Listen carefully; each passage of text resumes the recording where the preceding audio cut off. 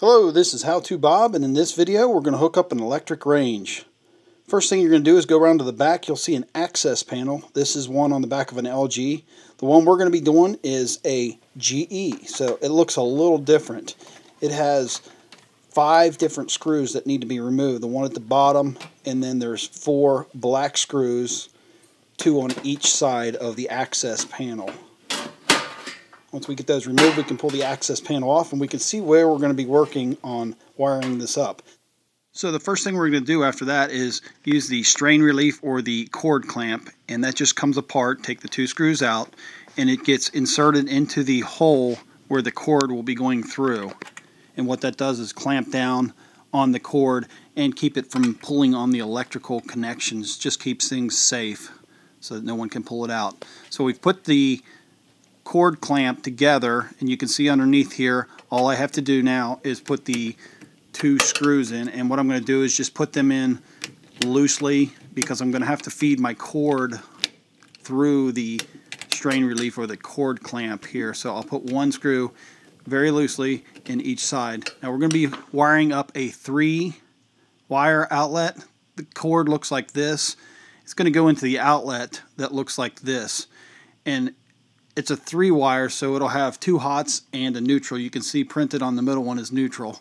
So I'm going to go ahead and feed that through my cord clamp and I'll pull just enough wire up through the hole to reach my three connections. Now once I get enough wire pulled up I want to go ahead and separate the wires. The one that says neutral is going to go to the white wire.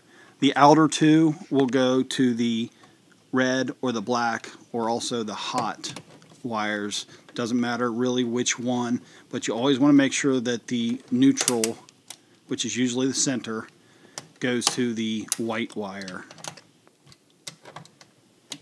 Okay, now that I've got all my wire connections snugged up, I'm going to go underneath where the strain relief or the cord clamp is and tighten each side just alternate side by side so one side doesn't get crimped or tightened more than the other and go back and forth just to snug it up make sure that the cord does not get pulled out of the range and cause an electrical hazard.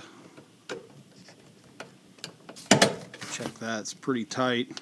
I can give it a few more turns here.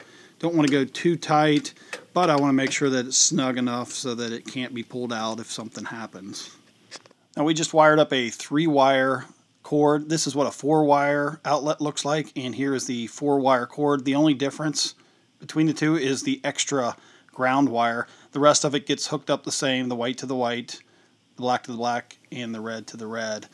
The ground wire goes to the green nut here if you're doing a four wire job. But now that we're done with our three wire, we can go ahead and put the cover back on our range and we're done hooking up the three wire electric range. This is How To Bob. Thanks for watching.